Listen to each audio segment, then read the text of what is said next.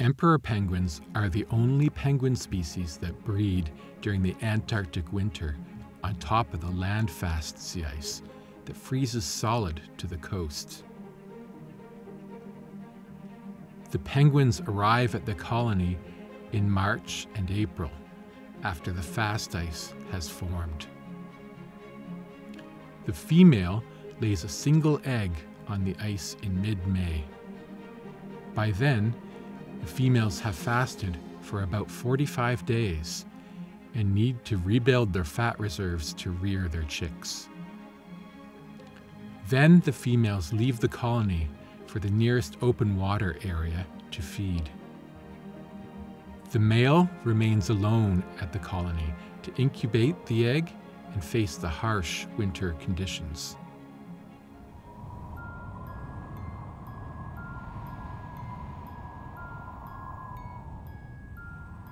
The eggs hatch in late July when the female returns to relieve the male.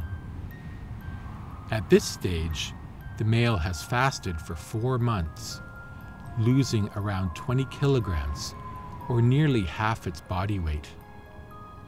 When the chicks hatch, both parents take turns feeding the chick during July and August, the coldest time in Antarctica. In September, young emperor penguins are finally old enough to be left alone in the colony and both parents can forage to satisfy the chicks' growing demands. How far the adults must travel to feed depends on the extent of the surrounding sea ice cover and whether there are polynyas or other openings nearby.